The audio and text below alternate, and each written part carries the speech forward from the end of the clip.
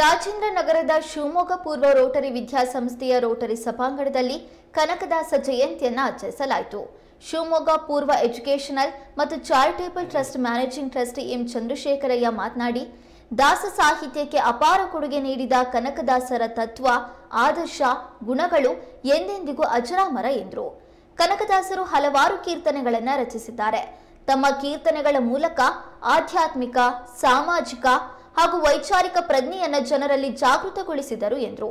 ಈ ಸಂದರ್ಭದಲ್ಲಿ ರೋಟರಿ ವಿದ್ಯಾಸಂಸ್ಥೆಯ ಪ್ರಾಚಾರ್ಯರಾದ ಆರ್ ಸೂರ್ಯನಾರಾಯಣ್, ಉಪಪ್ರಾಚಾರ್ಯ ನರಸಿಂಹಯ್ಯ, ಶಿಕ್ಷಕರು ಹಾಗೂ ವಿದ್ಯಾರ್ಥಿಗಳು ಉಪಸ್ಥಿತರಿದ್ದರು.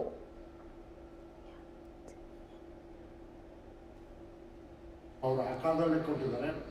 ಹಾಗಾಗಿ ಇವತ್ತಿಗೂ ಕೂಡ ಕನಕದಾಸರು ಈ ಕಾರಣಕ್ಕಾಗಿ ಪ್ರಸ್ತುತ ಅಂತಕ್ಕಂಥದ್ದು ನನ್ನ ಧಾರಣೆ ಇದನ್ನು ನಾವು ಬೆಳೆಸಬೇಕು. ನಮ್ಮ ಪರಂಪರೆಗೆ ಹೆಚ್ಚು, ಕಡಿಮೆ ಮೇರು ಕೀಳು, ಜಾತಿ, ಇದೆಲ್ಲವನ್ನು ಬಿಟ್ಟು ನಾವೆಲ್ಲರೂ ಒಂದು ಅಂತಕ್ಕಂಥ ಒಂದು ಭಾವನೆಯನ್ನು ನಡ್ಸ್ಕೊಂಡು ಹೋಗೋದು ಸಮಾಜಕ್ಕೂ ಒಳ್ಳೆಯದು ಎಲ್ಲರಿಗೂ ಒಳ್ಳೆಯದು ಅಂತಕ್ಕಂಥದ್ದು ನನ್ನ ಸಲ